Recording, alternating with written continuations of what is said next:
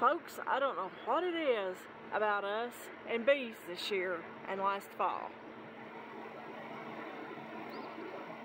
As you can see, this is a wasp nest. And as you can see, it's on a vehicle. I mean, good grief, enough is enough.